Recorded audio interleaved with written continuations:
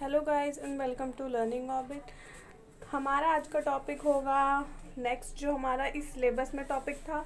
कल का टॉपिक था हमारा सोशलाइजेशन प्रोसेस जो कि बहुत अच्छे से हमने आपको समझा चुके हैं, उसके उसके ऊपर वीडियो बना चुके हैं।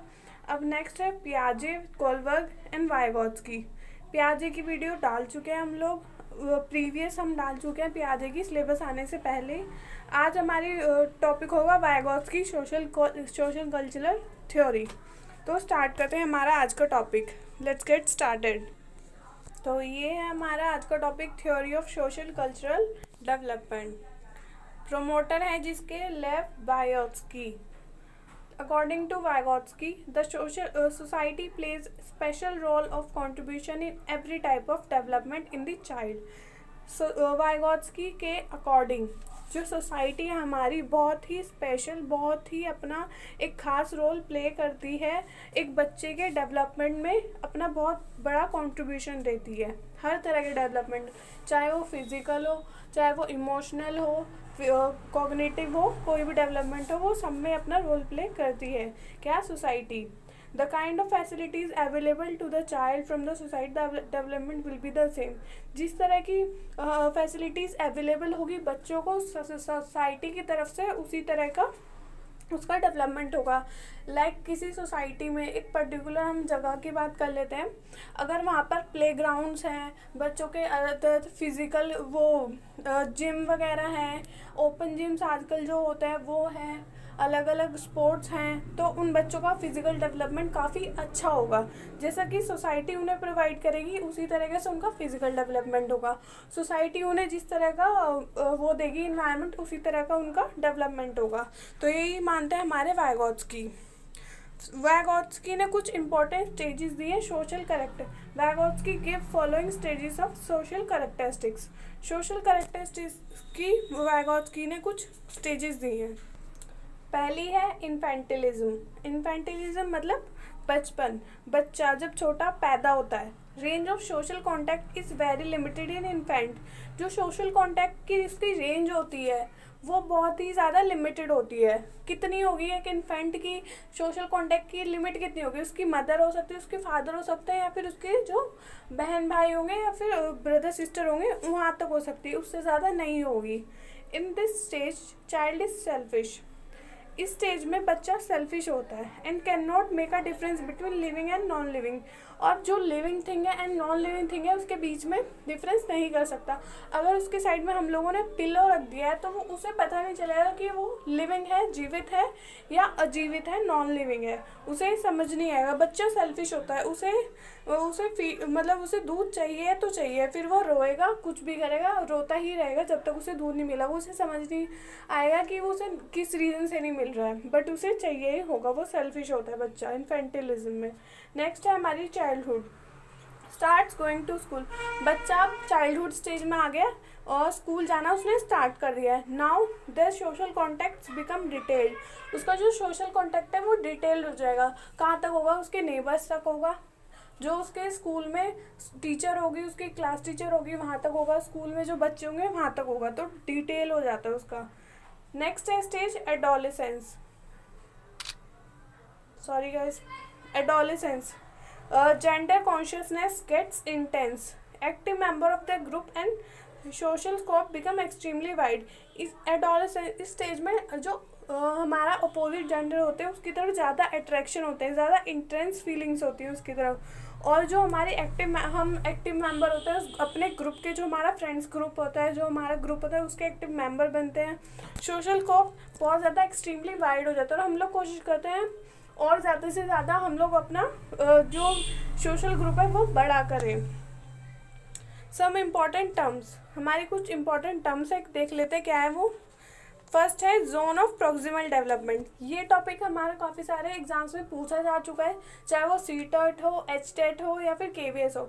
जेड पी टी के बारे में काफ़ी एग्ज़ाम्स में पूछा जा चुका है तो पढ़ते हैं इसके बारे में।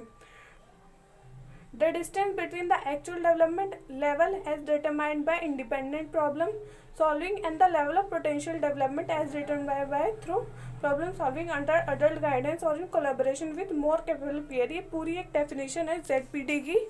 इसमें क्या बोला गया distance between the actual development actual development बच्चे की क्या होगी? जैसे uh, उस उसे हम लोगों ने एक लाइन लिखने के लिए बोल दिए पर्टिकुलर लेकिन उसे ए बी सी उसे सिर्फ़ वर्ड्स वर्ड्स पता है उसे वर्ड्स आते हैं बनाने लेकिन उसे पूरी लाइन लिखने नहीं आती है। तो जो वो वर्ड्स बनाने उसे आते हैं वो उसकी एक्चुअल डेवलपमेंट है उसे कितना आता है? और level as determined by independent problem उसे खुद सॉल्व वो कहाँ तक कितना सॉल्व कर सकता है? खुद से। उसकी एक प्रॉब्लम वो खुद से जितनी फिफ्टी परसेंट वो सॉल्व कर सकता है तो उसकी एक्चुअल डेवलपमेंट है। And the level of potential development as determined through problem solving under adult guidance कोई भी अडल्ट गाइडेंस हो, चाहे उसका अडल्ट गाइडेंस मतलब कि जो वो प्रॉब्लम है फिफ्टी परसेंट वो सॉल्व कर चुका है फिफ्टी परसेंट और सॉल्व करने के लिए उसे जो गाइडेंस चाहिए, वो होगी एडल्ट गाइडेंस और वो जो हेल्प करेंगे जिसकी जो मतलब जो बच्चा सॉल्व करेगा उस प्रॉब्लम को तो वो पूरी हम, उसकी जो जोन होगी, जिसके अंदर वो किसी की मदद थोड़ी सी हेल्प लेकर सॉल्व करेगा, वो होगी जोन ऑफ़ प्रोक्सिमल डेवलपमेंट ठीक है? चाहे वो in collaboration with more capable peer हो। मतलब किसी भी पीयर ग्रुप हो या फिर कोई उससे बड़ा हो, किसी के भी साथ हो सकता है वो। ये एक अच्छा सा समझने के लिए है कुछ हमारा।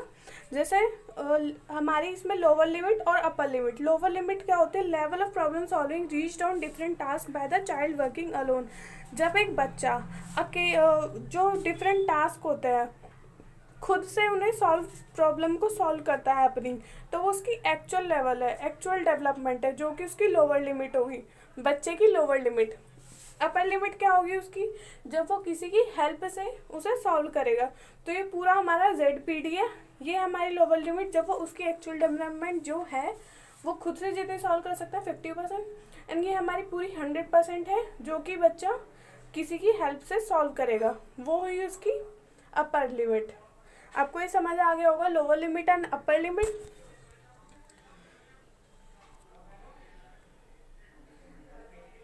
ये देखिए कैन डू इंडिपेंडेंटली जो बच्चा खुद से कर सकता है फिफ्टी परसेंट वो अपनी प्रॉब्लम खुद से सॉल्व कर सकता है तो होगा कैन डू इंडिपेंडेंटली इसे जेड ए डी भी बोलते हैं।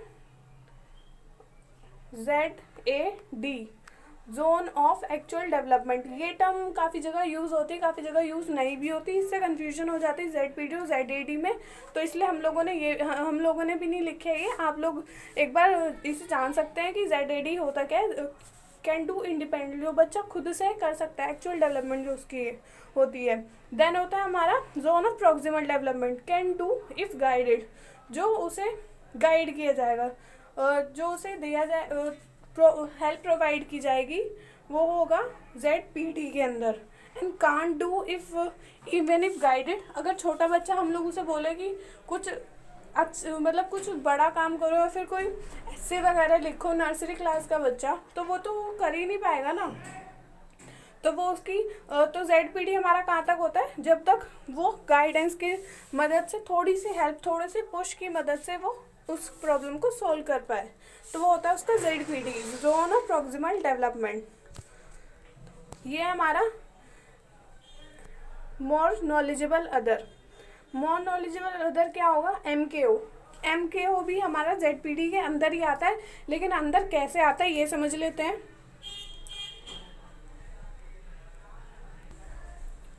The concept of the more knowledgeable other is quite simple and fairly self-explanatory. The more knowledgeable other is someone who has a higher level of knowledge than the learner. More knowledgeable कोई भी वो person हो सकता है जिसे उस particular problem के बारे में या उस चीज़ के बारे में या उस पर्सन के बारे में उसे उस प्रॉब्लम जो भी लर्नर है उससे ज़्यादा आता हो। वो कोई भी हो सकता है उसके साइड में जो बच्चा है उसका पीयर ग्रुप का कोई मेंबर हो सकता है उसकी टीचर हो सकती है उसका जो नेबर्स अगर ने, उन्होंने कुछ हेल्प किए तो वो हो सकते हैं। कोई भी इसमें आ सकता है जो बच्चे की हेल्प करेगा जो कि एम के होगा। मोर लॉजिबल अदर कोई भी इसमें हो सकता है। पीयर ग्रुप का मेंबर चाहे वो फैमिली का मेंबर हो हमारे क्लास का हमारे स्कूल का कोई भी हो वो हमारा एम के होगा।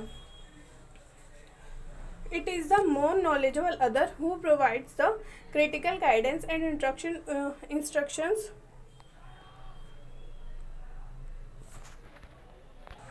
during during the sensitive learning period more knowledgeable other who जो हमें प्रोवाइड करेगा एक गाइडेंस एक इंस्ट्रक्शन जो भी हमारी प्रॉब्लम है जो हमारा सेंसिटिव लर्निंग पीरियड मतलब कि जो हमारा लर्निंग पीरियड चल रहा है। समझ लीजिए, अगर मैं लर्नर हूँ और मेरा सेंसिटिव लर्निंग पीरियड चल रहा है मतलब कोई प्रॉब्लम है और मुझे मुझे सामने से कोई थोड़ा सा पुश करेगा, थोड़ी सी हेल्प देगा। जैसे हम एक एग्जांपल ले सकते हैं, उसका कोई मदर है और एक एक बच्चा है, वो लोग ब्लॉक्स लगा रहे हैं, ठीक है? बच्चे ने ब्लॉक्स लगा रहे हैं, सब एक ही कलर के वो पिंक पिंक ब्लॉक्स लगा रहा है बच्चा। उसने सबसे ऊपर एक ग्रीन रख दिया। तो मदर क्या करेंगी? उसे पॉइंट आउट करेंगी। कैसे? मदर उन्हें उन्हें बोलेंगी कि इस पूरे ब्लॉक की जो बिल्डिंग है, आप उसे देखो। क्या वही कलर है वो जो आपने ऊपर लगाया तो बच्चा देखेगा ऑब्ज़र्व करेगा, फिर बोलेगा, नहीं, वो कलर नहीं है। वो हमारा जो सब है नीचे, वो पिंक है, ऊपर जो मैंने लगा दिया, वो ग्रीन है, वो उसे निकालेगा और वो उसे दोबारा से पिंक ही लगाएगा। तो ये हुई मदर ने हल्का सा पुश किया गाइड किया, वो थी, जो मदर थी, वो थी एम के ओ और जो बच्चा था हमारा वो था लर्नर और जो उसकी जेड पी डी था, उस जोन में, बच्चा जो उस जोन में था, जो सेंसिटिव लर्निंग पीरियड चल रहा था उसका मदर ने उसे पुश किया हल्का सा और वो सीख गया. When a child might not yet be capable of doing something on her own she is able to perform the task with the assistance of a skilled अगर कोई बच्चा खुद से कोई, कुछ करने के कैपेबल नहीं है, कुछ नहीं कर पा रहा। तो चाहे वो फिर किसी की असिस्टेंस से, कोई भी स्किल्ड इंस्ट्रक्टर हो, उसकी असिस्टेंस से वो उस टास्क को परफॉर्म कर सकता है ईजीली तो ये था हमारा एम के ओ मॉन लॉजिबल अदर्स थर्ड है हमारा स्कैप फोल्डिंग ये भी बहुत इंपॉर्टेंट टर्म है। स्कैप फोल्डिंग भी एग्ज़ाम पॉइंट ऑफ़ व्यू से इंपॉर्टेंट होगी। Providing temporary support to student learning and then retreating that support so that the student become self reliant एक टेम्पररी सपोर्ट प्रोवाइड करना बच्चे को लर्निंग के time पर और दोबारा से वो सपोर्ट को हम वापस ले लेते हैं ताकि बच्चा खुद से ये नहीं, अगर ये एक तरह से हम लोग री इन्फोर्समेंट मान सकते हैं कि हमें कुछ हमें कोई प्रॉब्लम आ रही है और किसी ने हमें री किया, हमें पुश किया हल्का सा देन उसके बाद अगर हम वो हमेशा ऐसे ही करता रहेगा तो हम तो कभी सेल्फ रिलेंट हो ही नहीं पाएँगे ना। हमें हमेशा हेल्प की ज़रूरत पड़ेगी किसी ना किसी की तो वही चीज़ है। हम एक बार सपोर्ट प्रोवाइड करते हैं, लेकिन ऐसा नहीं कि हमेशा करेंगे, जिससे वो अपना सेल्फ रिलेंट ना हो। तो ये था हमारा स्कैप फोल्डिंग अब हमारा आ जाता है लैंग्वेज एंड थॉट पर, जो हमारे पैगोस्की ने बात की है लैंग्वेज की। लैंग्वेज दो, उन्होंने दो बताई हैं। Mother and mother lang tongue and official language mother tongue वो लैंग्वेज जो उसके आसपास बोली जाती है, जो उसकी मदर बोलती हैं, जो उसके घर में बोली जाती है। बेसिकली इंडिया में हिंदी है एंड सेकंड है ऑफिशियल लैंग्वेज ऑफिशियल लैंग्वेज मतलब जो एक बच्चा बड़े होकर सीखता है, अपनी मदर टंग से सेकंड लैंग्वेज या कोई अदर लैंग्वेज सीखता है कम्युनिकेट करने के लिए। जैसे इंडिया में हमारी सेकंड लैंग्वेज या ऑफिशियल लैंग्वेज बोल सकते हैं इंग्लिश है, क्योंकि हम लोग इंग्लिश में किसी से भी बात कर सकते हैं। जो अगर कोई पर्सन है, बाहर जो मतलब कोई तमिल से है, तमिल पर्सन है मतलब तो वो तमिल बोलेगा ना। और आजकल तो ऐसा है, अगर उसे तमिल आती होगी तो उसे इंग्लिश भी ज़रूर आती होगी और हमें हिंदी आती है और इंग्लिश आती है। तो दो लैंग्वेज हमारी मैच करती है ना तो हम लोग उससे इंग्लिश में बात कर सकते हैं, जो कि ऑफिशियल लैंग्वेज है। तो हम लोग उसमें बात कर सकते हैं। टाइप्स ऑफ़ स्पीच हमारे वायगोत्सकी ने लेव वायगोत्सकी ने तीन तरह की स्पीच बोली है, जो कि उन्होंने बोला social speech private speech and silent speech social speech होती है हमारी टू ईयर्स तक टू ईयर्स तक सोशल स्पीच डेवलप हो जाती है external communication that people use to talk with other people बच्चा अपनी सोशल स्पीच डेवलप कर देता है। आपने देखा होगा दो टू ईयर्स के बाद बच्चे हर किसी से इंट्रैक्शन करने लगते हैं, बोलने लगते हैं हर किसी से बात करने लगते हैं, चाहे उसे जानते हों या नहीं तो वो हो गई हमारी सोशल स्पीच प्राइवेट स्पीच तीन साल तक थ्री ईयर्स तक कम्युनिकेशन टू सेल्फ खुद से बात करना it serve as an intellectual function खुद से बात प्राइवेट स्पीच हमारी, ये बहुत इंपॉर्टेंट है प्राइवेट स्पीच जो वाइगॉट्सकी ने दी है एग्ज़ाम्स में भी पूछी जा चुकी है मतलब बच्चा खुद से बात करता है, वो खुद को समझाता है, उसे कुछ बात करने, उसे कुछ प्रॉब्लम सॉल्व करनी होती है, तब भी आपने देखा होगा, बहुत सारे बच्चे मन मन में बोलते हैं, एक एज तक प्राइवेट स्पीच हमारी चलती है। थ्री ईयर से डेवलप होती है और एक एज तक चलती है। अगर उस एज के बाद भी हमारी प्राइवेट प्राइवेट स्पीच स्टार्ट मतलब वो कंटिन्यू होती रहती है तो इसका मतलब कुछ मतलब ये ठीक नहीं होगा। अगर हम उसके बाद भी प्राइवेट स्पीच अपनी कंटिन्यू रखते हैं, उस एज के बाद भी, बड़े होने के बाद भी देन ये हमारा एक गुड साइन नहीं है। नेक्स्ट है silent inner speech seven years तक डेवलप हो जाती है. Private speech diminishes it is in its audibility and it becomes a self regulation regulating person private speech में क्या होता है? बच्चा धीरे धीरे खुद से बातें करता है. साइलेंट स्पीच में वो बात तो कर रहा है, लेकिन किसी को सुनाई नहीं देगा. मन मन में खुद से बात करता है. प्राइवेट स्पीच कम हो जाती है डिमिनिश हो जाती है सात साल तक. अगर सात साल तक भी, सात के बाद भी हमारी प्राइवेट स्पीच चलती है मतलब कुछ प्रॉब्लम है. और अगर हमारी ख़त्म हो जाती है, हमारी फिर साइलेंट स्पीच स्टार्ट हो जाती है। साइलेंट स्पीच तो अभी तक मतलब काफ़ी टाइम तक चलती रहती है। हम लोग धीरे, मन मन में खुद से बातें करने लगते हैं कभी भी कभी भी। तो becomes a self regulating function okay ये हमारी साइलेंट डिनर स्पीच हुई। ये डायग्राम देखें सब। Vygotsky's basic idea of language and thought एक वैगॉट्स का जो बेसिक आइडिया क्या था हमारा लैंग्वेज और थॉट को लेकर? हमारा लैंग्वेज जो जहाँ बच्चे जब कुछ चाइल्डहुड में आते हैं इन्फेंट से स्टार्ट होते हैं तो उनका लैंग्वेज अलग डेवलप होती है उन्हें समझ नहीं आता कि वो क्या बोल रहे हैं।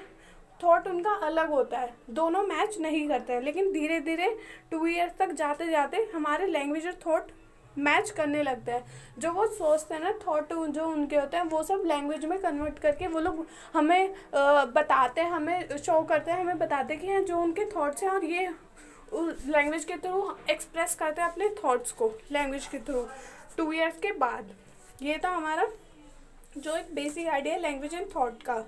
जो हमारे प्याजे हैं, उन्होंने भी ऐसी कुछ ये ego centric speech private speech इन सब की बात की है तो इन सब में डिफरेंस जानना बहुत ज़रूरी है, क्योंकि इन दोनों में अगर हम लोग कन्फ्यूज़ हो गए तो हम लोगों का एक मार्क्स तो ऐसे ही गया।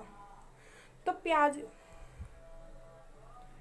प्याजे ने बात की है प्री सोशल स्पीच की, और वैगॉट्सकी ने सेम वही चीज़ को बोलिया सोशलाइज स्पीच मतलब बच्चा जो की सोशलाइज स्पीच होती है ना, बच्चा डेवलप करता है टू एज के बाद जो डेवलप करता है सोशलाइज स्पीच और उसे बात का हर किसी से बात करना, चाहे वो घर का हो, बाहर का हो, हर किसी से बात करना, वही प्याजे ने उसे बोला प्री सोशल स्पीच कि बच्चा बात करना स्टार्ट कर देता है। ऐसी जब वो पूरी तरह उस चीज़ को डेवलप कर लेता है, हर किसी से बात करना स्टार्ट कर देता है, समझ जाता है किससे क्या बात करनी है देन उसकी सोशल बन जाती है। लेकिन उससे पहले प्री सोशल जो कि वैगोट ने बोली है सोशलाइज स्पीच नेक्स्ट है ईगो सेंट्रिक स्पीच वहीं पर हमारे वाइगोत्सकी ने बोला है इसे प्राइवेट स्पीच या communicative speech ego private speech में हम लोग क्या, हमारे, हम खुद से बातें करते हैं और हमें धीरे धीरे बात करते हैं और खुद से बातें करते हैं। और यही चीज़ उसने बोली प्याजे ने egocentric speech same thing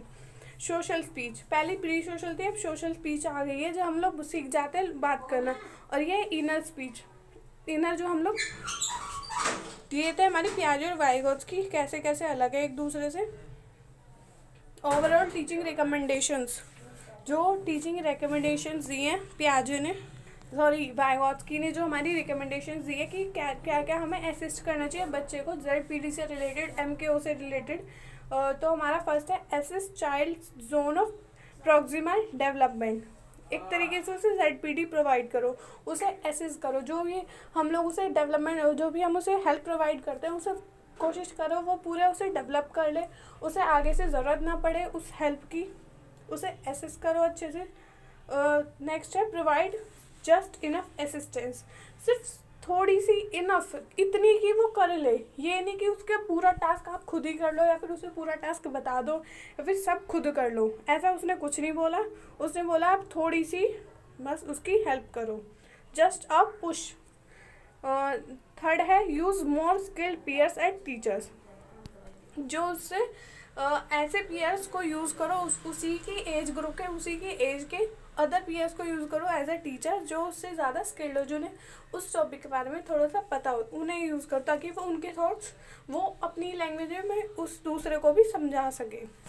last है encourage private speech self regulation एक ये प्राइवेट स्पीच इंपॉर्टेंट भी है एक तरीके से। हमारे उन्होंने बोल, पियाजी ने भी प्राइवेट स्पीच को इम्पोर्टेंट बोला वाइगोत्सकी ने, कि बच्चा अपने थॉट्स को एक्सप्रेस करना सीखता है इस तरीके से। उसे समझ आता है, वो खुद को, खुद के इमोशंस भी कंट्रोल करना सीखता है इस तरीके से। सेल्फ रेगुलेशन खुद के इमोशंस कंट्रोल करना रेगुलेट करना, खुद को, वो सब सीखता है इससे। तो ये थे हमारे वाइगोत्सकी का पूरी थ्योरी ठीक है? तो यहाँ पे हमारी थ्योरी ख़त्म होती है।